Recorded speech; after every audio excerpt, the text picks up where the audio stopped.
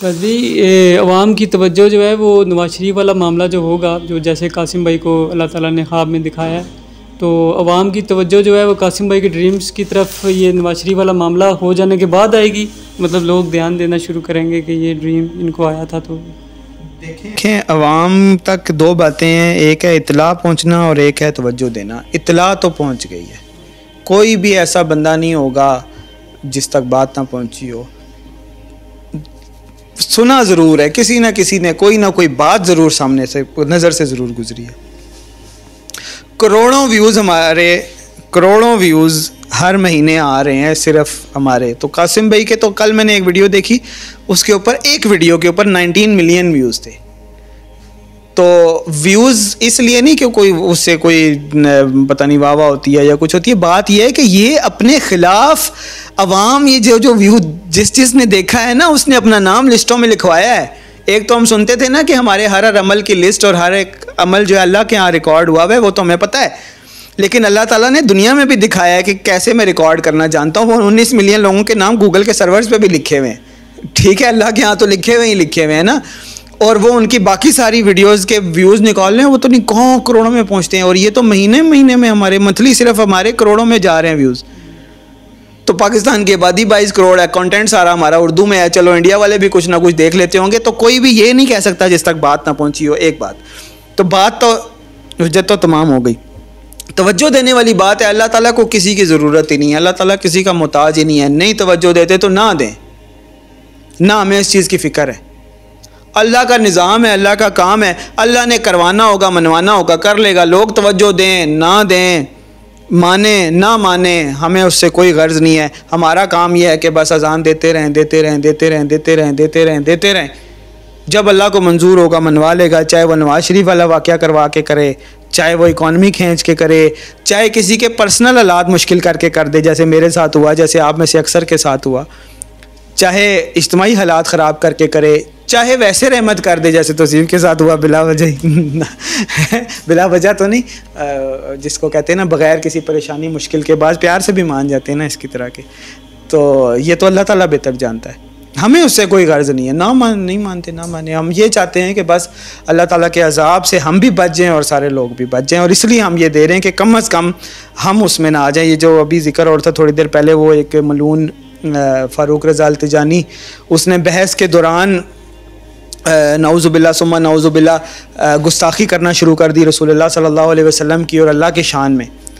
तो अब मैंने उससे यही कहा कि झूठों के ऊपर अल्लाह की लाना तो मैंने कहा, तुम भी बोलो झूठों के ऊपर अल्लाह की लाना तो जैसे ही उसने बोला झूठों के ऊपर अल्लाह की लाना तो मैं वहाँ से उठ गया। लोग बाद में कहते रहे, आपको पॉइंट ऑफ़ व्यू देना चाहिए था पॉइंट ऑफ़ व्यू देना चाहिए था। उधर कोई सियासी बहस थोड़ी हो रही थी, उधर कोई पीटीआई और पीएमएलएन के दरमियान झगड़ा थोड़ा ही हो रहा था कि मैं सही या गलत साबित करूँ। हक बात थी, बता दी।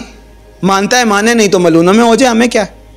मैं तो वहाँ से उठ के आ गया, अल्लाह का अजाब आ जाता, वहीं पे बिजली गिर जाती, हम सब तबाह हो जाते, मैं भी शामिल हो जाता उसमें। नवजुबिल्ला सुम्मा नवजुबिल्ला तो यही मामला अवाम का भी है। हम इसलिए कह रहे हैं कि इनके दरमियान है। अल्लाह ताला ने आप सबको में से कुछ को हक की बात समझा दी है। हम तो इसलिए अजान दे रहे हैं कि अल्लाह हम अपना काम पूरा कर रहे हैं। अगर तूने अजाब भेजना है, अगर तूने कौम को तबाह करना है, अगर तकलीफ़ डालनी है तो अल्लाह हम हाथ जोड़ते हैं तेरे आगे। हमें उसमें शामिल ना कीजिए।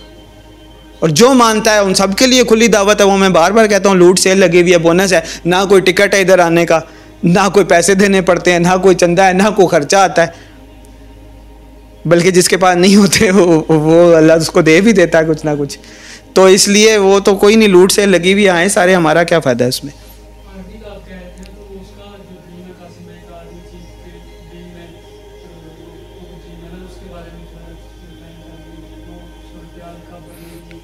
नहीं, मुझे नहीं पता। ना ना मुझे पता है कि कब सूरत बनेगी, कब आर्मी चीफ़ के ख्वाब में रसूलुल्लाह सल्लल्लाहु अलैहि वसल्लम आएँगे, ये आर्मी चीफ़ होगा, कोई और होगा, ना मुझे पता है, ना मेरा गर्ज है आर्मी चीफ़ ये वाला मानता है, ये मान जाए, कोई और अल्लाह ने लाना है, वो मान ले, मुझे क्या से? हमारा तो काम है सिर्फ़ लोगों को बताना, बात पहुँचाना।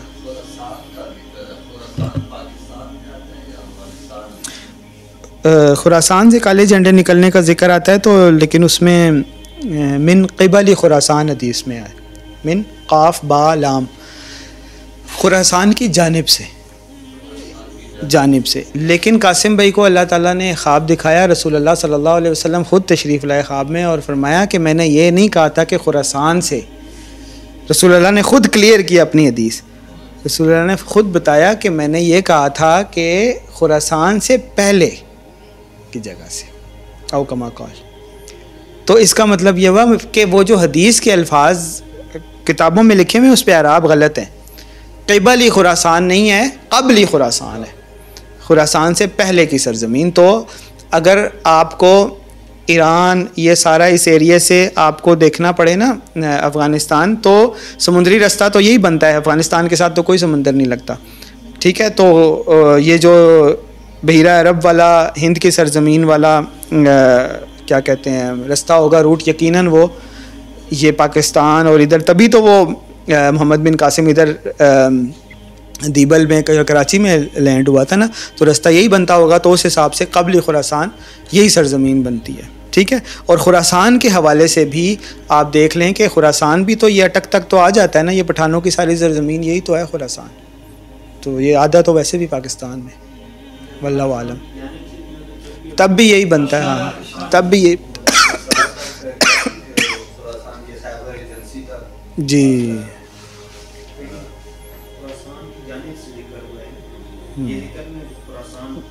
मगरिब हो गई है जी क्या बस करें। अल्लाह अल्लाह सल्ली अला सैयदना वबारक वसलम